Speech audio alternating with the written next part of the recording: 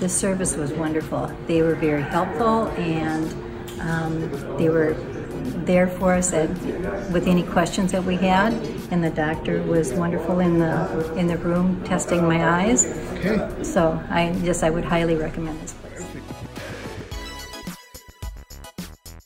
Oh yeah, we've been coming here for like 10 years now. Really? Yeah. Okay, a long time. Yeah.